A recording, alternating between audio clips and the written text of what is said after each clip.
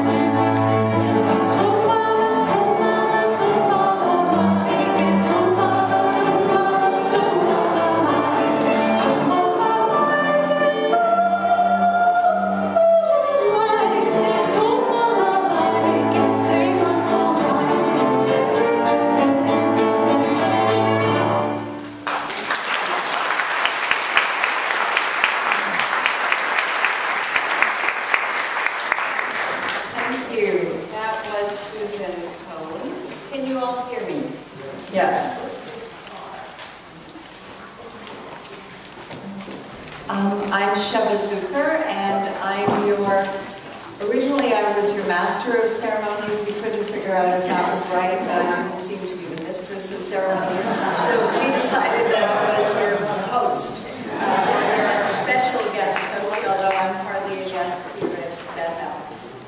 So welcome to the third annual What's Not to Like Yiddish Song Fest. And you may ask, why a Yiddish Song Fest? And I could answer you, Jews so often do, a question and say, why not a Yiddish Song Fest? But I personally think that the question is too important uh, to be laughed off in that way. So I will ask you another question, and that is, how many Jewish songs do you know in English that are not about holidays? The answer for me is I could count them on one hand, maybe. So this is why we need a Yiddish Song Fest. We just haven't had the time, I think, to develop the kind of tradition in English, the kind of musical tradition that we have developed over hundreds of years in Yiddish.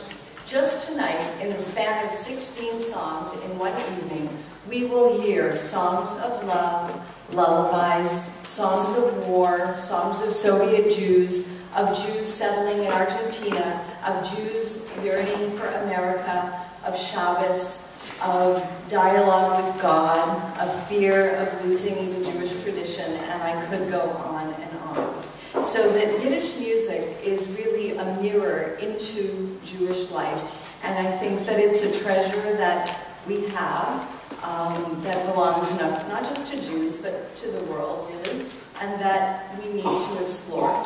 The Yiddish poet David Hofstein, whom we'll hear from later, not in person, but one of his songs, uh, said, In Yiddischen Wort, was is will, was is mil, was is tired, is faran as a ruf zu banayim, is faran as hellische fire. In the Yiddish word, where it's wild, where it's mild, where it's precious, there is such a call to renewal. There is such a bright, infernal fire. The ashes of ages cannot turn its tinder to grayness, its sparkling tinder, which so pale blue glistens in its stillness. So there is something that is mild and wild and precious, and thanks to Gary Berman and all the wonderful musical and organizational work that both he and Beth have done, I think you're in for a, a. So the song that Susan just sang, I'm sure most of you know it. If you don't know all the words, you sure, certainly know the Tumbala, Tumbala Laika part of it. And the amazing thing that I found out is that this song was not published until 1940. And I don't really know if that means that it wasn't sung until then, or just it was sung for a long time and then somebody collected it. But it's really impossible to think that my grandparents didn't sing that song um, for much of their lives. You know, you just figure that it's one of those things that was always there. Uh, so it's rather interesting. And that's an example of what we call a riddle song, where the boy, he wants to see if the girl is suitable for him, and so he has these riddles for her, and if she can answer them, then she is worthy of becoming his wife. Uh, lucky her. Um, and there are other ones that we don't necessarily, that we, uh, that we didn't sing, but it, it's one of these songs that exists in, in many versions and variants. Uh, just to say, and it's amazing, I found all this on Wikipedia. You don't really need a Yiddish scholar standing here. You just need somebody who can look up at Wikipedia. But what I found was that the song was also used in the play Angels in America uh, by Tony Kushner and it's sung by the, the ghost of Ethel Rosenberg to Roy Cohn, who's dying of AIDS. So I'll have to go see that play again. And I mentioned, or the poet mentioned, renewal. So how's this? The metal, the heavy metal version of this song is included in the first metal Yiddish album called, Aleph Beis by Gewalt, released in March 2011. So as we say, as der Left, der Leftman, if you live long enough, you live to see all kinds of things. So we now have Yiddish heavy metal as well, although I don't think that's to Gary's taste. So, although maybe he doesn't know about it. So the next song is called Rusishe Felder on Russian Fields, and it is going to be sung by Laurie Siegel, and I think this is her Yiddish debut, right? Certainly not her debut debut. You might have heard her in some of the Gilbert and Sullivan uh, productions.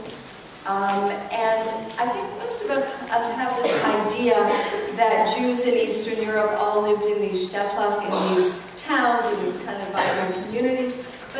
People didn't. They actually kind of lived very isolated, like Tevye, as a matter of fact. It's not like it is on Fiddler on the Roof. Um, and this song tells of the loneliness of living out in the middle of nowhere on the Russian fields. And it says, on Russian, in Russian fields, where can one be lonelier? Where can one be lonelier? And I'd just like to tell you a little bit about the writer and the composer, because I think they're very important. Uh, this song was written by Dovi Hofstein, a Yiddish poet who was born near Kiev in 1889 and died in 1952. And keep that date in your mind. He was a leader in Jewish cultural affairs uh, during the revolutionary years, and he actually protested the suppression of Hebrew in the former Soviet Union. In 1923, he left Russia for Germany and then he went to Palestine where he hoped to settle. Uh, but Palestine was not a great place for a Yiddish writer to make a living. Uh, so for that reason, and also because he had two sons left in the Soviet Union, and interestingly, their names were Hillel and Shammai. Um, it's really true. And they were getting taunted at school uh, for having a father living in Palestine. So for all these reasons, he came back to Russia where he um, made a career for himself as a Yiddish writer. And there's just one thing I have to tell you about Russia. As many horrible things as we know about and what was done to Yiddish culture, if you were considered a writer, and this is something that you got this status if you published a book or two books, I can't remember, then you were given a salary as a writer. and you could live in a writer's house. You were given an apartment. So that it was a good place in many ways for Yiddish writers to be, because in what other country is a writer given a salary? Um, so he went back, and even though he tried to live as a dutiful Soviet citizen, nonetheless he was one of five poets who was killed on one day, along with another seven leading Jewish cultural figures and general Jewish scientists and whatnot, who were all killed on August 12, 1952, by Stalin. Um, so this is an important date, an often forgotten date in Jewish history. Um, and this year it was 60 years of that um, sad anniversary, so Gary decided to include a few songs by Soviet Yiddish writers, and this is one of them. The music is by Emil Gorovets. Any of you remember Emil? He just, um, he was born in 1923. If you lived in New York, you might have had a chance to hear him. He actually had a nightclub for a while called the Balalaika. Um, he died in, 20, in 2001, and he was an immensely popular singer in Russian. And in 1960, he actually won the all-union competition for the best entertainer in the Soviet Union. He also sang in Yiddish, and this was an amazing at that time in the Soviet in the Soviet Union. He really sang in Yiddish when very few other people had the nerve to do so.